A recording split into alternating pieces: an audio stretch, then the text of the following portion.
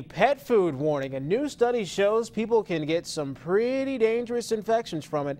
And as Liz Crenshaw reports, even feeding your pet in the kitchen can put your family at risk.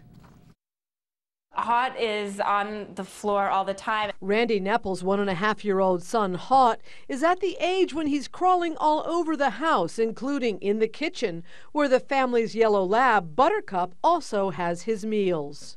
To be honest, uh, when he started crawling, his favorite toy was the dog bowl, and he would throw it everywhere. What Neppel didn't realize was that she was putting her son at risk of getting sick from dangerous bacteria like salmonella that could be lurking in some pet foods you're dealing with an animal product. Um, most of the pet foods are cooked and that will destroy the salmonella, but if anything is added after the cooking process, like a flavoring, then that can uh, increase the chance of a salmonella contamination. In fact, in the last two months alone, the Food and Drug Administration has reported dozens of pet food recalls, most of which were due to possible salmonella contamination. And since 2011, a total of 15 people have been affected by salmonella linked to dog food, according to the Centers for Disease Control.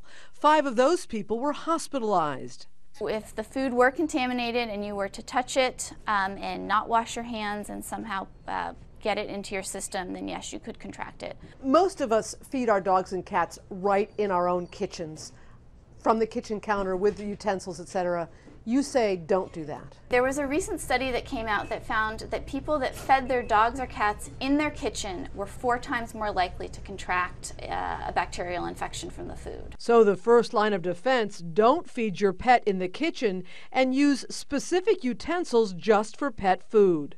We've been trying to uh, take as many precautions as we can. Once Randy Neppel learned about the potential health problems with contaminated dog food, she made some changes in her home. She put Buttercup's bowl away after he eats, doesn't allow her son Hot to feed the dog anymore, and is diligent about washing her hands after preparing the pet food. I think every mother gets pretty concerned about anything that can potentially harm their children. And that was Liz Crenshaw reporting. Now, some think that because commercial pet foods contain bacteria, why not make it your own?